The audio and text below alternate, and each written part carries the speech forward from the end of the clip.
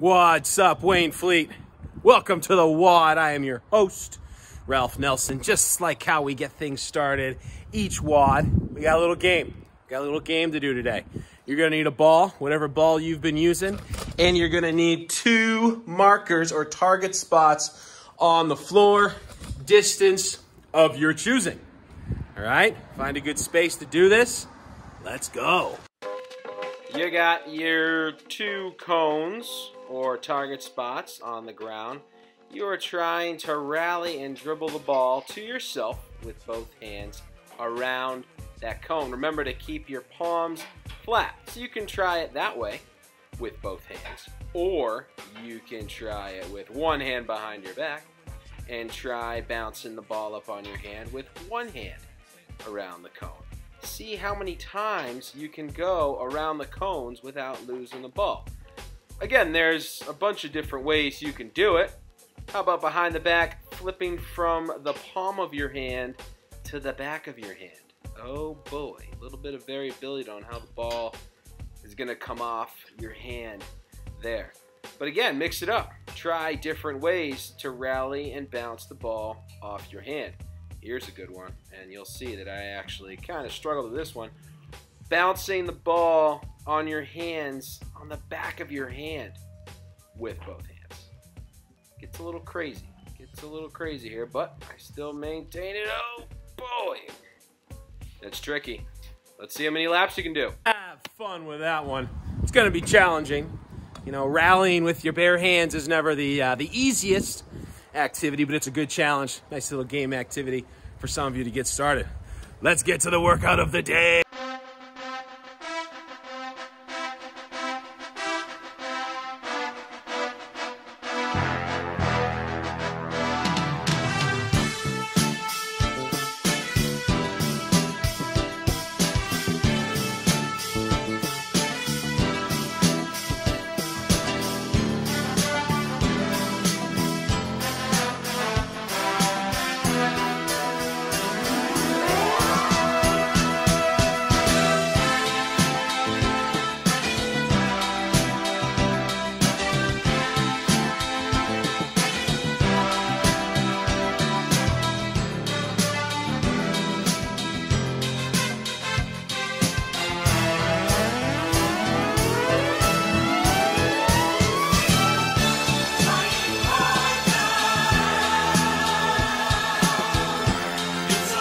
Montage. Montage. Great things happen. Great sports moments happen after a montage. Case in point, Apollo Creed getting knocked out by Rocky Balboa after a great montage in Rocky 2. Might be dating myself with that one, but case in point, we're going to get a great workout today.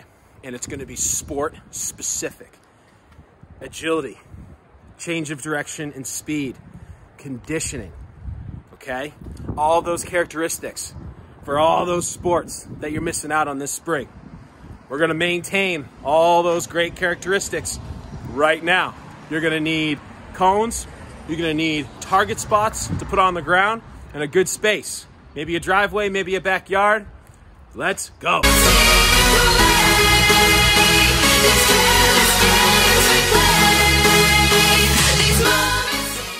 High knees in between each cone. Sit on your leading leg and then take off from that foot. Every time you move up, you are sprinting to the inside of the cone, quick feet around it, and shuffling through the middle to the next cone, sprinting up for a finish. Sprinting to the cone line, stabbing your feet, and then backpedaling back down and back equals one rep. So once you get to the end, take a break and then make sure you're going the opposite direction. Sprint to the middle cone, shuffle to your right, sprint to the far cone, shuffle back to the middle, and back pedal and finish. Skate sprints. Explode off that back foot, sprinting forward, do both feet. There you have it. A little bit of speed, conditioning, and agility circuits to start your day. May be more time efficient to set up each station, do four sets of it, and then set up the next station. That way to avoid having to set up each station over and over again. All right, hopefully your legs are burning. Hopefully you enjoyed it. Nice job today. We'll see you tomorrow.